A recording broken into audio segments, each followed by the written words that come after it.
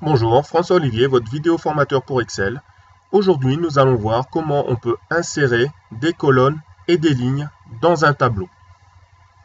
Voici un tableau, donc je souhaite insérer une colonne entre A et B afin de mettre capital. pour ce faire, je vais cliquer sur B pour sélectionner la colonne et vous voyez que mon curseur est devenu une flèche. Avant, il y a une croix blanche. Quand je passe sur B, il devient une flèche et je sélectionne ainsi toute la colonne. Pas seulement la colonne de mon tableau, mais toute la colonne Excel. Puis ensuite, dans l'onglet Accueil, j'ai ici Insérer.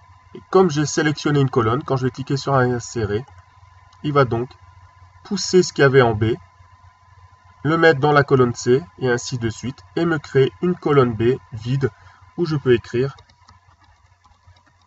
capital. Ensuite, je souhaite entre Portugal et Slovaquie créer quatre nouvelles lignes. Donc pour ce faire, je me mets pareil sur 13 pour sélectionner la ligne en entier.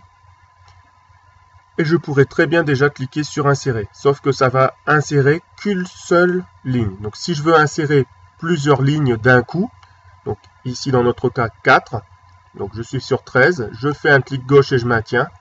Et je vais descendre afin de sélectionner 4 lignes. Et vous voyez dans une petite fenêtre où j'ai 4 L pour 4 lignes et 16384 C pour 16384 colonnes.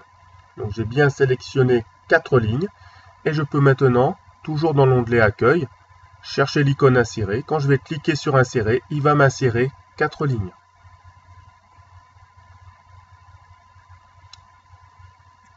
Voilà, je vous remercie pour votre attention. Maintenant, vous savez insérer une ligne ou une colonne, mais aussi plusieurs lignes ou plusieurs colonnes d'un coup. Je vous remercie pour votre attention et je vous dis à très bientôt pour une nouvelle formation sur Excel.